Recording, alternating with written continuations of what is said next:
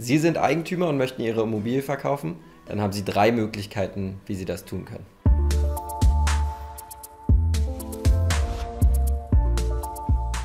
Wenn Sie nicht so viel Erfahrung mit Immobilien haben, macht es durchaus Sinn, sich einen Immobilienprofi mit zur Hand zu nehmen, also einen Immobilienmakler. Es gibt drei unterschiedliche Makleraufträge, mit denen Sie arbeiten können. Erstens den sogenannten Maklerauftrag. Zweitens den Alleinauftrag und drittens den qualifizierten Alleinauftrag. Was sind jetzt die Unterschiede und was sind ihre Vor- und Nachteile? Der Maklerauftrag ist prinzipiell relativ einfach gestrickt und kann auch nur mündlich mit einem Makler vereinbart werden.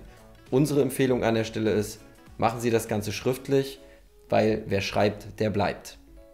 Der Maklerauftrag an sich beinhaltet einfach nur, dass Sie eine gewisse Vereinbarung haben, wenn der Makler Ihnen einen Kunden bringt, dann sind Sie und auch der Käufer verpflichtet, an diesen einen bestimmten Makler die Provision zu zahlen.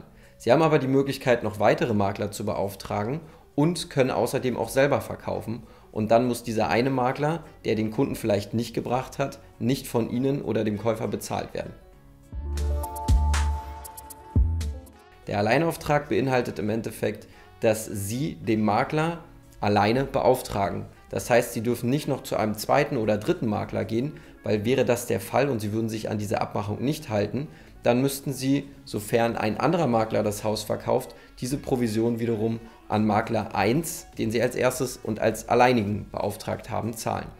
Sie können aber nichtsdestotrotz Ihr Objekt, Haus, Wohnung, Grundstück, was auch immer, selber vermarkten und sofern Sie es verkaufen an einen Kunden, den der Makler noch nicht bedient hat, also das heißt informiert hat, ein Exposé rausgeschickt oder eine Besichtigung durchgeführt hat, dann kauft dieser Kunde in diesem Zusammenhang ohne Provision und Sie sind an der Stelle Ihr Objekt hoffentlich zu einem guten Preis losgeworden. Und Nummer 3, die gängigste Variante, weil wir kommen auch gleich zu ihren Vorteilen, ist der sogenannte qualifizierte Alleinauftrag. Das bedeutet, dass der Makler, der von Ihnen beauftragt wird, nur beauftragt wird und kein weiterer Makler und auch Sie als Eigentümer das Objekt nicht weiter vermarkten dürfen. Das heißt, er ist der Alleinige, der diese Vermarktung für einen gewissen Zeitraum übernimmt.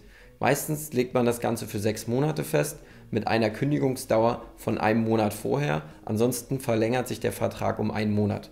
Weil worum geht es Ihnen? Geht es darum, dass Ihr Objekt bestmöglich verkauft wird. Das heißt zu einem guten Preis, in einer guten Geschwindigkeit an einen Kunden, den Sie an der Stelle auch mitbestimmen dürfen. Ja, welche Vor- und Nachteile gibt es dann jetzt eigentlich? Also wählen Sie Nummer 1, dann wäre aus meiner Sicht der Nachteil darin ganz stark, dass der Makler keine wirkliche Motivation hat, das Objekt schnell zu verkaufen oder auch gut zu verkaufen. Er wird relativ wenig Eigenleistung mit in dieses Unternehmen reinbringen, was für sie wiederum den Nachteil ergibt, dass sie vielleicht viele Makler beauftragt haben, aber keiner von denen so richtig beauftragt ist und sich darum kümmert. Außerdem ist der Maklerauftrag an der Stelle unvorteilhaft für Sie, weil der Makler verpflichtet sich nicht, für Sie tätig zu werden, sondern er hat die Möglichkeit, das Ganze mit in seinen Bestand aufzunehmen, aber er muss es nicht aktiv vermarkten.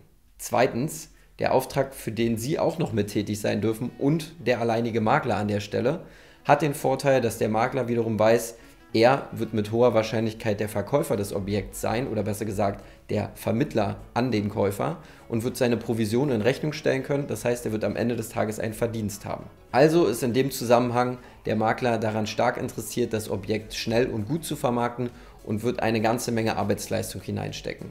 Warum wählen manche Eigentümer genau diesen Weg? Weil sie vielleicht Leute in ihrem Bekannten- oder Freundeskreis haben, die auch gerne vielleicht kaufen möchten und das vor der Vermarktung im Endeffekt noch nicht abgeklärt wurde. Dann gibt es aber auch die gesonderte Möglichkeit, dass man dem Makler einen sogenannten qualifizierten Alleinauftrag gibt, in dem Zusammenhang aber ein paar Personen ausklammert. Das heißt zum Beispiel Bekannte oder Nachbarn oder ähnliches, diese könnten ausgeklammert werden und weiterhin von ihnen verkauft und vermakelt werden. Wo wir auch schon bei Punkt Nummer 3 sind, ist der qualifizierte Alleinauftrag. Dieser hat wieder den Vorteil, dass die meisten Makler diesen natürlich bevorzugt nehmen, aber nicht einzig und allein, weil sie, ich sag mal, faul sein wollen, sondern weil natürlich eine ganze Menge Arbeitsleistung sowohl wie auch Kosten in so etwas fließt. Das bedeutet, der Makler gibt sich die größte mögliche Mühe, dieses Objekt so schnell wie möglich an seine Kunden zu vermarkten und wird eine ganze Menge Schritte gehen, um dieses Objekt und dieses Ziel so schnell wie möglich zu erreichen. Ja, ganz wichtig, lassen Sie sich das immer schriftlich geben, welche Dienstleistungen mit in dem Vertrag aufgenommen werden, um dann im Endeffekt zu checken und zu sehen, was alles davon wirklich erledigt wurde. Ist das nicht der Fall, dass irgendeiner dieser Punkte erfüllt wurde, dann haben Sie ein sogenanntes Sonderkündigungsrecht und können von diesem Maklervertrag zurücktreten und haben die Möglichkeit, wieder an einen neuen Makler heranzutreten oder aber auch selber zu vermarkten. Noch ein kleiner Tipp von mir. Es wäre aus meiner Sicht immer hilfreich, einen Makler mit zur Hand zu nehmen, weil am Ende des Tages kennt der ein paar Kniffe und Knaufe, wie man so schön sagt, um das Objekt richtig in Szene zu stellen, aber auch zum bestmöglichen Preis zu verkaufen. Ich hoffe, ich konnte Ihnen einen guten Überblick über die drei unterschiedlichen Auftragsmöglichkeiten geben, die Sie bei Ihrem Makler haben. Und wenn ich Ihnen weiterhelfen konnte, dann freue ich mich über einen Daumen nach oben und ein Abo. Und dann kann ich Ihnen in nächster Zeit noch weitere hilfreiche Tipps geben, damit Sie Ihr Objekt vernünftig vermarkten können. Wenn Sie eine spezielle Frage haben oder zu Ihrem Anliegen ich Ihnen vielleicht helfen kann, dann schreiben Sie mir doch gerne eine E-Mail. Diese sehen Sie hier jetzt eingeblendet oder auch unten in der Infobox. Bis zum nächsten Mal. Es hat mich gefreut. Auf Wiedersehen.